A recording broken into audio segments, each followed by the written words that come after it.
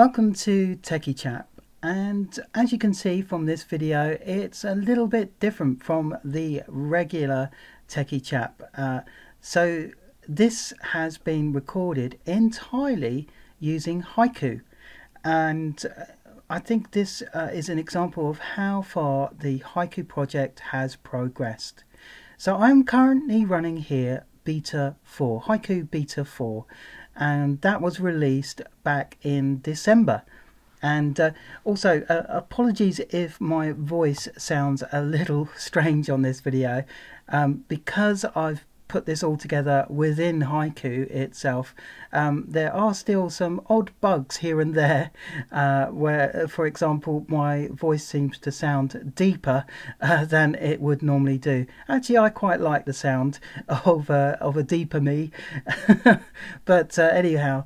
Um, let's look at the system version of Haiku. We are running Revision 1 Beta 4. There's the HREV number and as you can see it is running on actual hardware on my Intel Core i5 and uh, it's running very very well. It's really quick. It boots within about 10 seconds.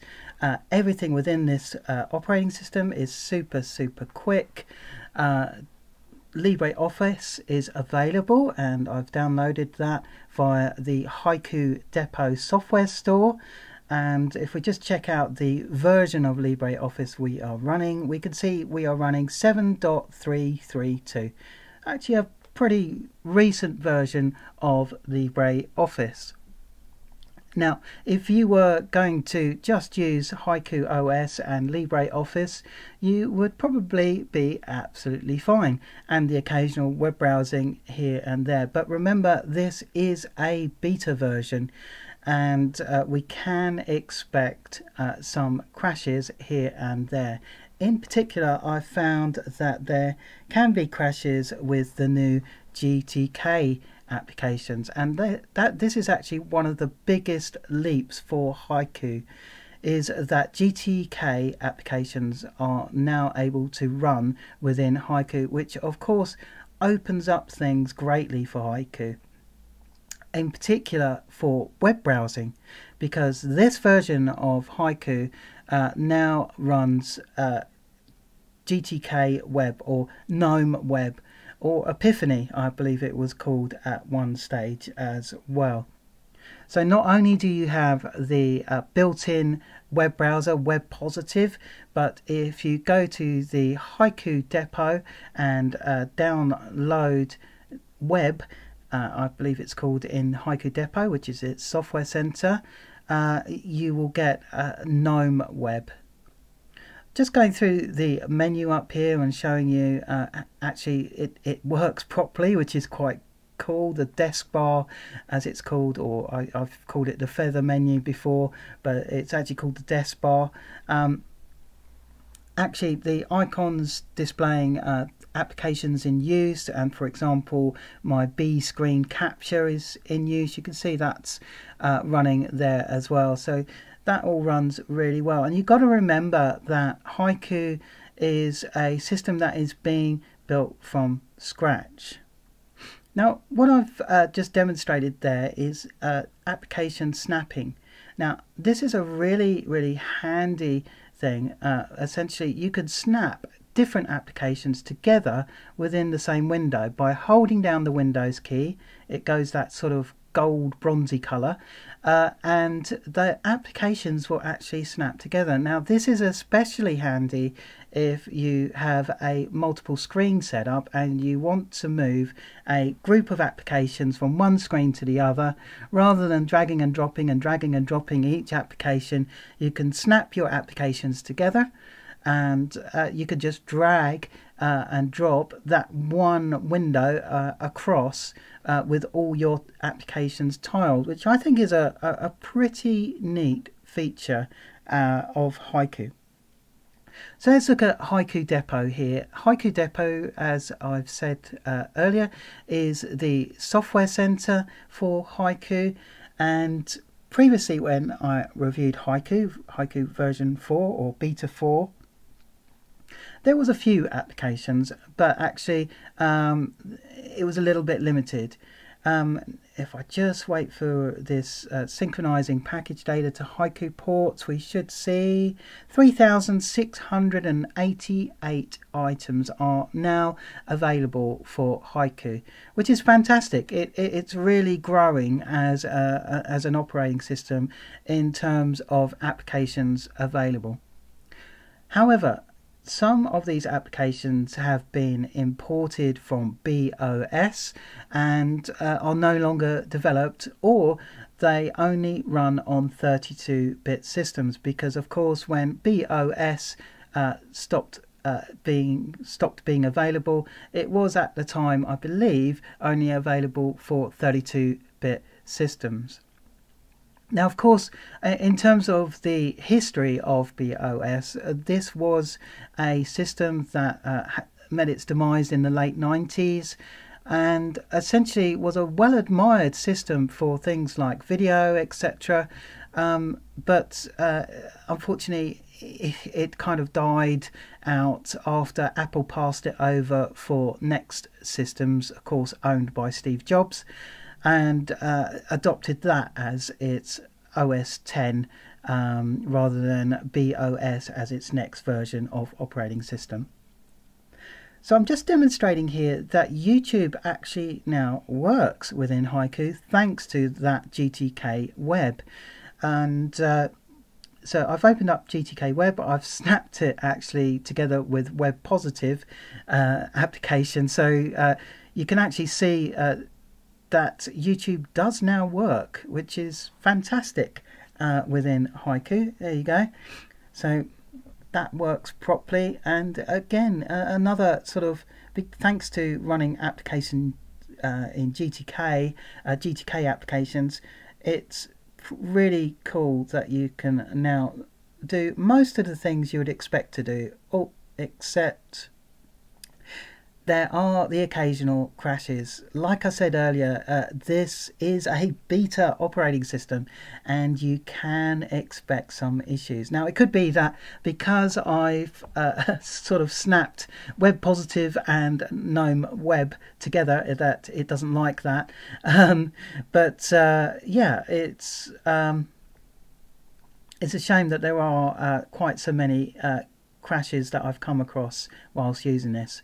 I, have been using this uh, since uh, since it was released really in December. I was uh, really keen to see what progress was made. Um, as you can see, uh, again, I'm just running YouTube, but this time within Web Positive, and um, Web Positive again is the web browser that gets bundled in with Haiku. It's the default browser. I, I kind of admire that they've uh, gone to the trouble of trying to create a browser that's native to Haiku.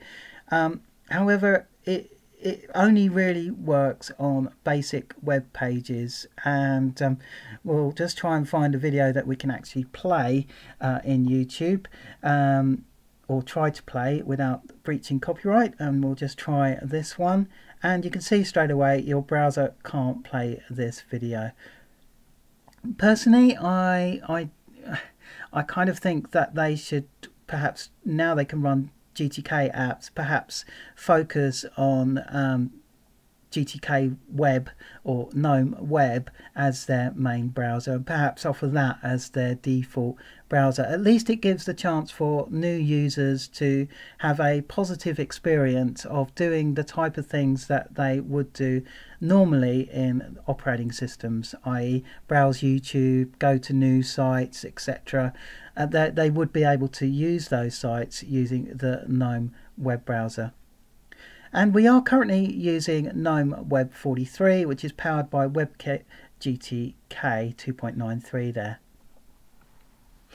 So yeah, fantastic leap forward, however, for Haiku, despite the crashes and despite uh, the fact that uh, things can be a little unstable at times. This really is a, a big leap forward, and the fact that I can record this video now on Haiku and actually okay, it's not up to my usual standards for uh, YouTube videos, but I really, really wanted to demonstrate uh, how far forward Haiku has come in terms of a user operating system.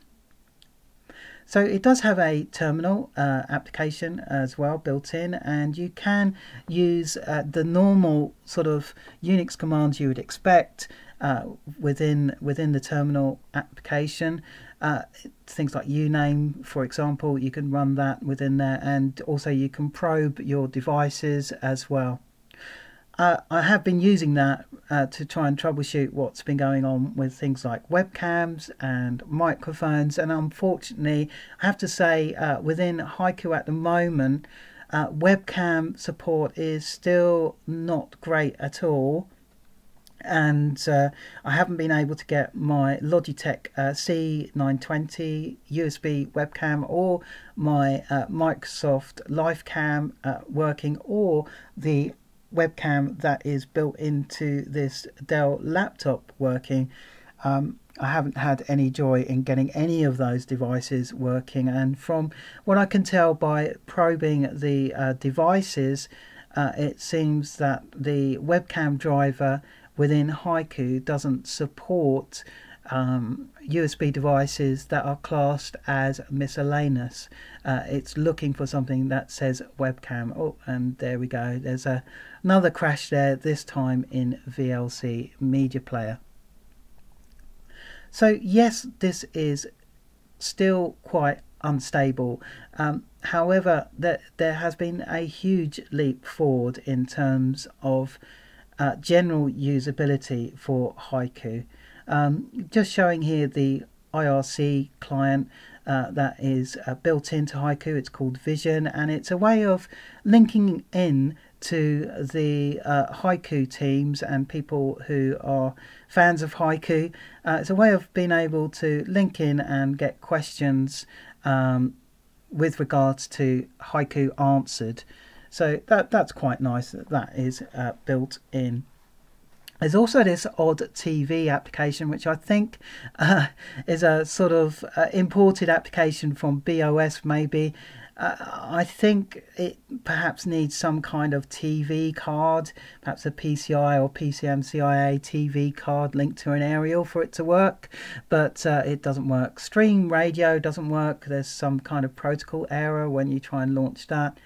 As I said, this is very, very much a beta and it's not I've t- I have actually tried to use it as a day to day system since December, and I've got to say, I, I just haven't been able to use it as a day to day system, unfortunately.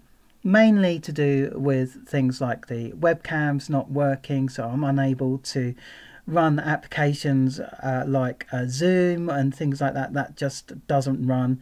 Uh, and if you try to uh, run some of the uh, webcam software within a web browser, for example, it just tells you that the web browser doesn't support that. So that's a little bit of a shame. And plus, the uh, general stability of this particular release at the moment is still uh, not great. As you've seen indeed on this video, there has been a few crashes just recording this.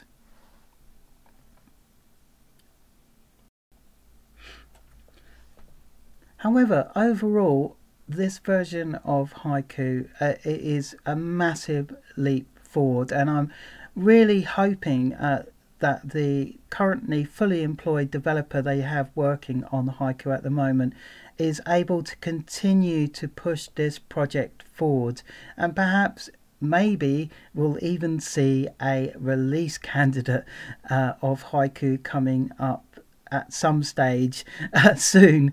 Uh, this project has been in development for a very, very, very long time. Uh, uh, but it's been something that I have been watching for quite some time also.